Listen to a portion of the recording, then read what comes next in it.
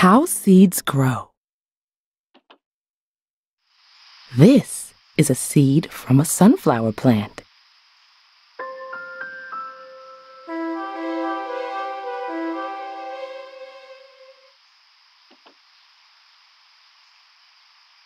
Right now, the seed is asleep. It is dormant. It's waiting for water to wake it up. Then it can grow. Being dormant means something sleeps for a long time. Can you think of anything else that goes dormant?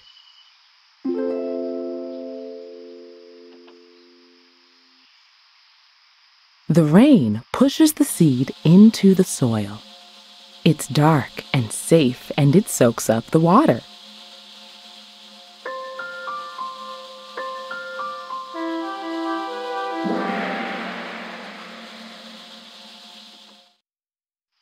The seed has sprouted. It's waking up.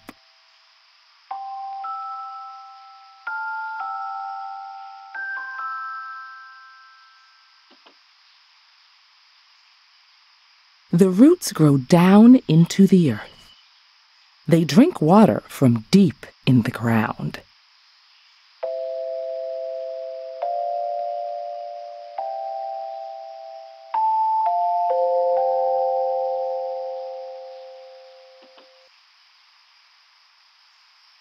The stem of the plant grows up towards the sky and grows leaves.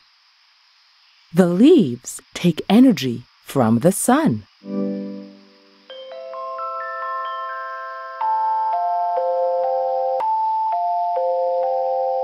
Plants get their energy from the sun. Where do animals and people get energy from?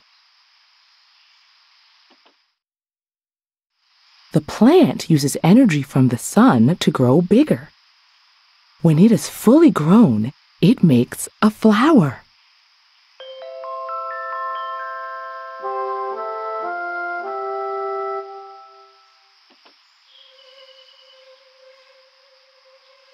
Deep inside the flower, bees drink a lovely sweet juice called nectar. Bees use nectar to make honey.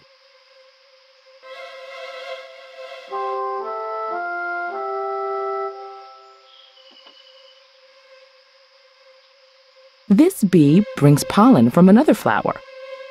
The pollen falls onto this flower. We call this pollination.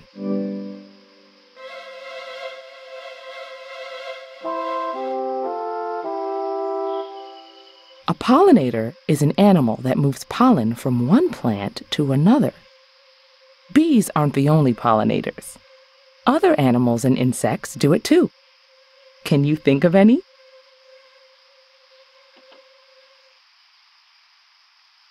The flower uses the pollen the bee brought to make lots of new seeds.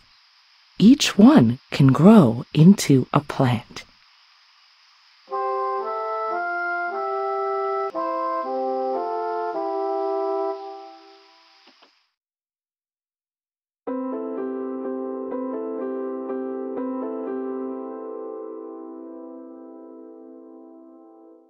When the time is right, the cycle of life begins all over again.